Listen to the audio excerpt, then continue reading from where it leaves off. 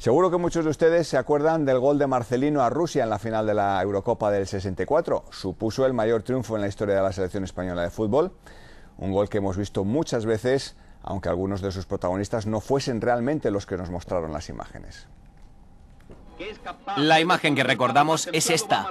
La hemos visto hasta la saciedad, pero la jugada no fue así. No fue el 7 de Amancio el que colgó aquel balón. No, no, no fue Amancio, fue Pereda.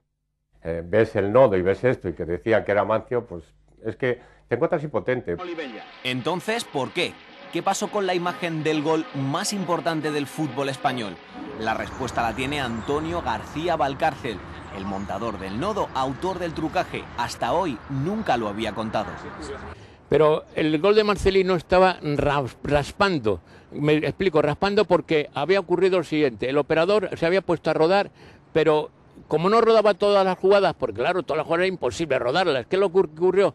Que ese gol lo cogió por los pelos. La primera parte no era la, jugada del, gol, sino de otra jugada que había centrado pero que no había pasado nada.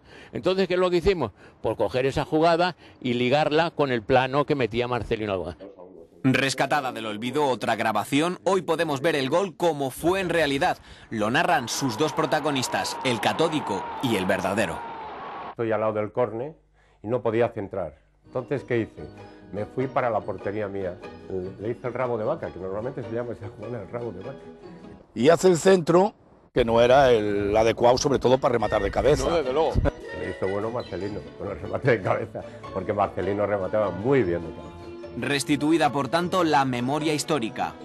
Eh, oye, Pereda, que sepas que te devuelvo lo que es tuyo, pero que yo no lo tenía. Imaginen un pequeño retoque de vídeo y, por ejemplo, el legendario gol de Maradona hubiera acabado en el palo.